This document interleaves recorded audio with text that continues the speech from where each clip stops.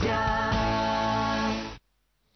itu tadi uh, pingkisan Pulau Redang bukan main lagi ya Ridwan dapat memaparkan keindahan Pulau Redang yang menjadi salah satu uh, tempat pelancongan yang menarik di negeri Terengganu ini. Baik, kalau datang ke Terengganu ini salah satu yang anda tidak boleh lepas pandang adalah makanannya. Makanan warisan hari ini kita nak bawa kepada anda bagaimana nak membuat uh, kuih asam gumpal. Okey, kita bersama Cik Rama bersama saya hari ini tengah me, apa mengumpal-gumpal nampaknya. Ha, kita tahu jugalah apa bahan utama untuk menghasilkan kuih asam gumpal ini, Cik Rama. Okey. Mm-hmm. Ni saya nak berterangkan untuk buat kuih asam gumpal. Ya. Daripada mula kan kita akan terangkan pada sagu. Aha. Ha, ni biji sagu dah. Okey. Ha, ya. Yang ini daripada kacang, Okey. kacang dah. Mhm. Ha. Kacang dan ni kita kata kena rebus Ah, dan kena rebus, Ah, ah. dia jadi beginilah Ah, hasilnya. kita- ah, okey. Okey, kita ada sini garam, gulanya. Ah, Halba ah, diperlukan juga ah, ya. ah, ya, ya. Hmm, dan ini adalah Dan nangka. Nangka. Okey, boleh kita tunjukkan kepada penonton kita macam mana?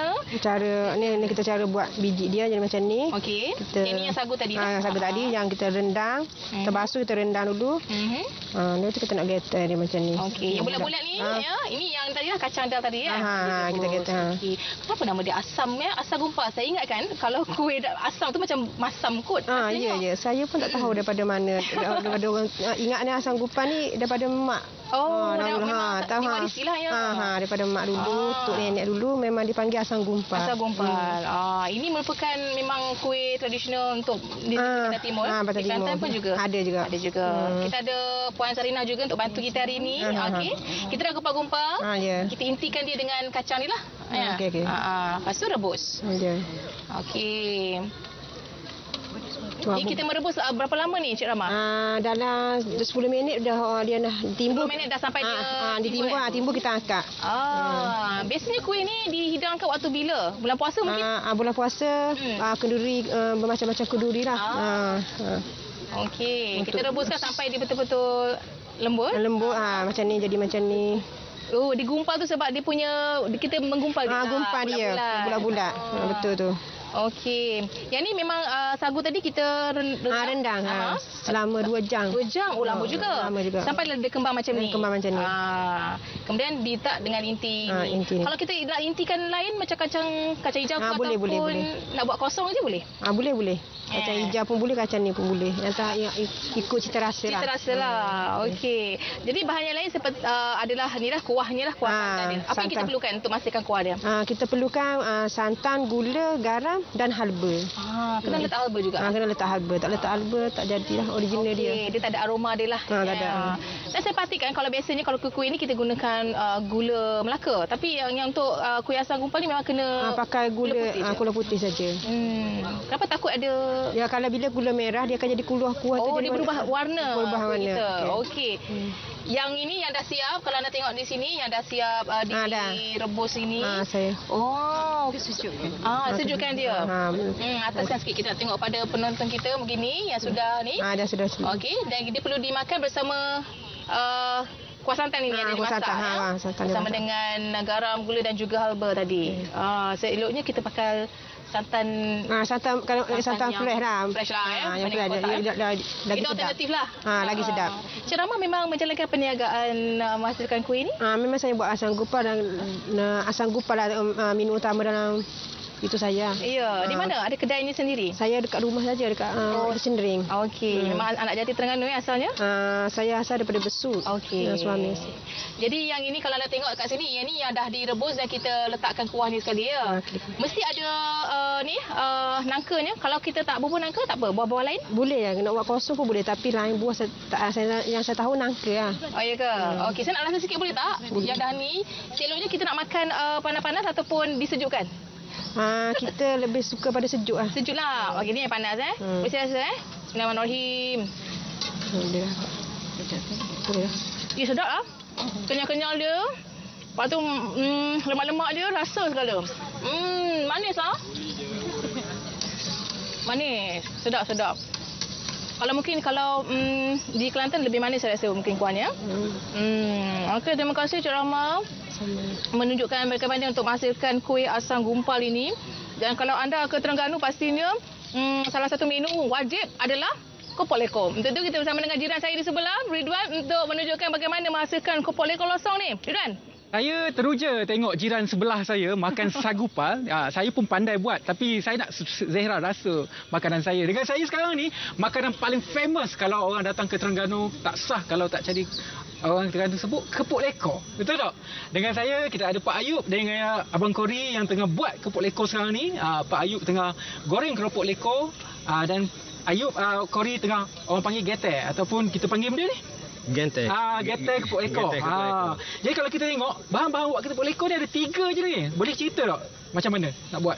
Dia Ah. eh, bahan utama dia isi ikan, Isi ikan. tepung sagu, batu garam. Oh, tiga sahaja. Tiga, barang sahaja. Ha, tak ada bahan pengawet tak, tak ada. Ah, campuran ni macam mana? Campuran Sa- Sukatan dia. dia nisbah dia satu-satu lah. Satu, Satu. kilo ikan, satu kilo sagu. Satu kilo ikan, satu kilo ragu. Batu garam Ini cukup rasa. Jarang garam cukup rasa. Selepas kita uli semua sekali, ini hasil dia. Kalau kita tengok ini hasil dia. Ah, sebelum kita kita kata. Ha. Ah, biasanya ikan tu pakai ikan dia. Ikan selayang, ikan tambang. Ikan sayang ikan tambah yang, yang paling sedap. Ha. Kalau baru dah pakai ikan ikan lain. Dia kurang tu. Ha, betul.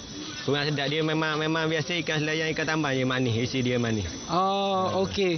So kalau kita tengok dia kita tengok kereta ni, ini semua ni ini sebut sagu juga eh. Ha, tepung sagu. Sebung sagu. Ha. Biasanya kalau dijual besar ni berapa ringgit? Dia empat batang singgit sekarang ni. Oh, pak batang RM1. Ya. Ah, dan kalau kita tengok Pak Ayub sekarang ni tengah menggoreng uh, keropok lekor. Pak Ayub berapa lama dah terlibat dengan perusahaan keropok lekor? Lebih kurang 10 tahun. Lebih kurang 10 tahun. Dan kedainya di hadapan muzium saja. Ya, ya, ya. Ah, Kedai di hadapan muzium. Ah, so kalau korang datang ke Muzium Negeri Terengganu boleh singgah makan kepok lekor kedai Pak Ayub. Ah, 10 tahun dia buat pengalaman 10 tahun tu. Kita rasa di tangan Pak Ayub ni.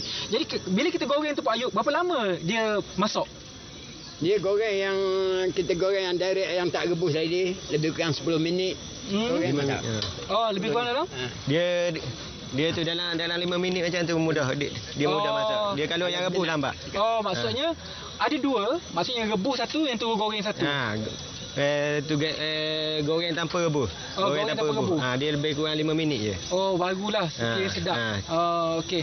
Jadi kalau pelancong yang mari ni nak balik ke Kuala Lumpur ke negeri-negeri mana ni macam mana? Biasanya yang paling baik lah dalam bentuk vacuum ke, dalam bentuk sejuk beku ke? Segar? Vacuum. Dalam bentuk vacuum. Ah, Vacuum dalam untuk bentuk- tahan lama. Hmm. Untuk perjalanan jauh kita terpaksa vacuum. Hmm. Ha. Tapi yang yang ada ada kala dia yang yang pelancong nak yang goreng yang separuh masak pun ada nak balik. Ah, okey. Saya perhatilah, saya lahir di Terengganu ada kepuk besar, besar-besar lah yang tiga jari macam tu kan. Ya. Kalau ini kecil, apa beza dia tu? Ha. Dia sama je bang, cuma Ha. eh, tu saiz dia je berbeza. Oh, saya dia. Ha. Maksudnya ada orang suka kepuk besar, ada orang Ha. kepuk kecil. Ha. Ha. Lepas tu kalau dekat kita eh, eh dekat-dekat kedai kita pula ada ke, ada kepuk gasi. Hmm. Ha, dia kepuk gasi tu RM5 batang. Eh, besar. Ha. Kepuk Ada. tu kepuk besar lah. Ha. Okey. Uh, dan kalau kita ini kepuk lekor, kan dekat Ha. luar juga ada kepuk keping semua sekali tu. Ha, Macam mana ya. pula kepuk proses penghasilan ni macam mana? Dia proses kopuk keping dengan kopuk lekor ni berbeza. Hmm. Ha, kira dia kalau eh kiadunang dia pun berbeza. Oh, lain. Ha. Yang biasa pengusaha kepuk lekor dia tak terlibat dengan kepuk keping. Ha. Oh. Yang kepuk keping khas untuk yang terlibat dengan kepuk keping saja. Hmm. Dia kebiasaannya yang macam tu. Okey. Dan biasa ni ni ini yang dah masak lah. Ha. Biasa kita kalau kita masak kita makan dengan sos dengan, dia. dengan sos dia. Nak- Ah, kita boleh tengok eh. Ha, ini boleh. sos yang uh, biasa kalau orang tengah makan dia makan dengan sos ni. Letak, Ah. letak dia. Eh, tinggal Ah, dulu, tinggal dulu. dia. So saya boleh rasa ke macam mana? Ha, boleh, boleh. Saya boleh rasa. Sikit-sikit saja. Ha. Okey, boleh rasa. So ini bentuk dia kepuk yang telah digoreng. Ha. Ha. Kita rasa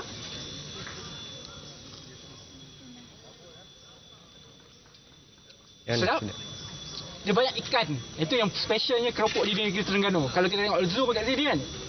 Masih lagi panas. Dengan sos dia manis-manis masam-masam. Jadi ha, selepas ini macam mana? Nak kembangkan perniagaan ke macam mana? Ha, Pak Ayub. Ha, syok. Sekarang kita nak berkembang nak mengembangkan Hmm. perniagaan kita. Sekarang kita ada cara online apa mana kita Oh, boleh online. ha, semua mana dalam Facebook ada Hmm. ha, bukan macam zaman dulu tak ada Facebook tak ada apa sekarang Okey. ada. Okey. Yang, oh, okey. Ah. Oh. Bukan main tak ingat tak. Sedap sangat eh. Saya tak perasan orang belakang. Ah. Awak rasa pal. Okey, sekejap lagi kita nak rasa. Ha. Apa pun kita ucapkan terima kasih kepada dua pengusaha kita ni Hmm. ya, menunjukkan bagaimana penghasilan keropok lekor losong ini memang ini kita signature lah di Hmm. Betul. Terengganu kita ya. Hmm. Okey, kita nampak